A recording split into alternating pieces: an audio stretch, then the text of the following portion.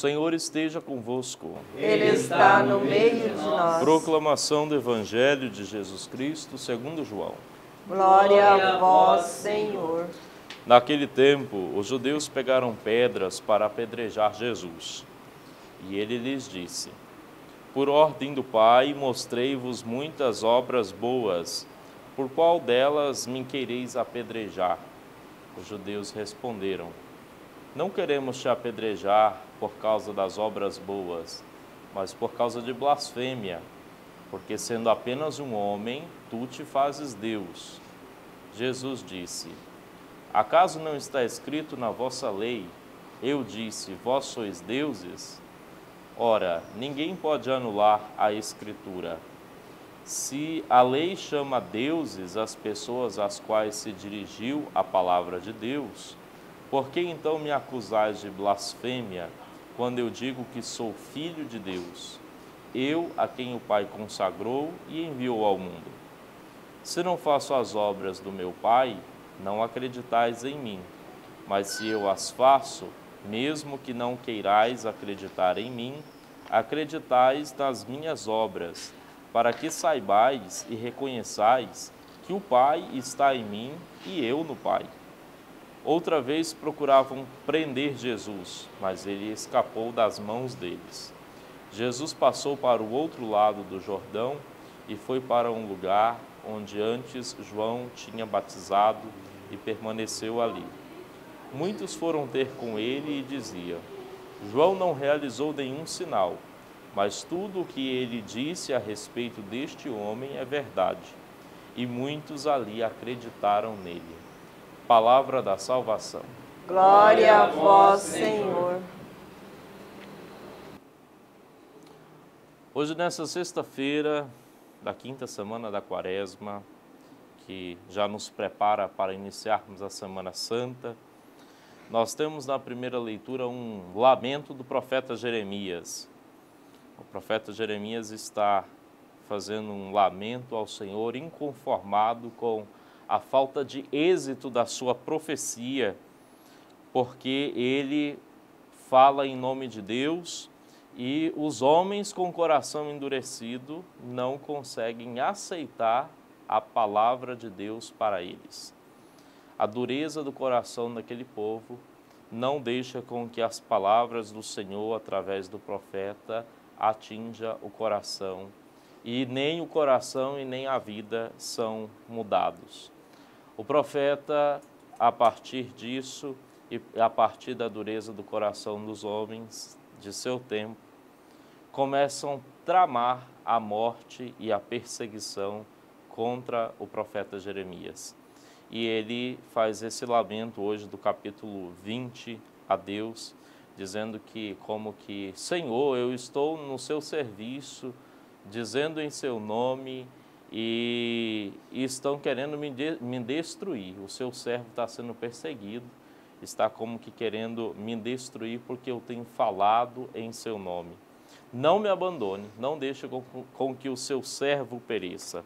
E assim nós rezamos como resposta da primeira leitura no Salmo 17, dizendo que na minha angústia por não fazer com que a voz de Deus seja escutada, eu clamei o Senhor e o Senhor escutou a minha voz. O servo não foi abandonado. Essa figura hoje que a liturgia dessa sexta-feira nos apresenta é, serve como prefiguração de duas, de duas angústias e de dois sofrimentos. Primeiro, do nosso sofrimento humano. É, nós, seres humanos, vivemos uma profunda angústia por causa do pecado e do mal que habita em nós e por causa de todo fruto e desse pecado e desse mal também na sociedade. E quantas vezes eu e você que estamos que está em casa nos acompanhando, rezando conosco nesta hora, não pedimos ao Senhor, Senhor, escuta a nossa oração. Parece que o Senhor não nos ouve, parece que a nossa oração não chega até o Senhor. Tanta coisa ruim acontecendo, nos livra dessa angústia que nós estamos passando, desses sofrimentos que nós estamos passando. E quantas e quantas vezes nós tivemos a oportunidade de ver a misericórdia, a força e o poder de Deus agindo sobre tantas situações da nossa vida. Algo que é muito importante para nós hoje é entendermos que Deus não age conforme o nosso cronômetro. Deus não manifesta e não age conforme nós queremos que ele haja. Ele tem a sua hora de agir, ele tem a sua hora de se manifestar e de resolver as coisas como ele pretende. E isso nós percebemos na vida de Jesus. Deus, como, como diz o profeta Isaías, olhando para o seu filho na cruz, ele parecia como que fosse abandonado por Deus.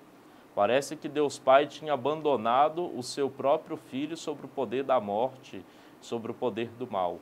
Mas no momento certo, Deus o exaltou acima de todos os homens, acima de todas as coisas, o ressuscitando dos mortos. Então não é que Deus nos abandona, mas muitas vezes a nossa condição humana nos coloca em uma situação de angústia, assim como colocou o profeta hoje, porque nós temos a pressa de que Deus possa agir conforme nós queremos, conforme o nosso tempo, conforme as, o nosso discernimento.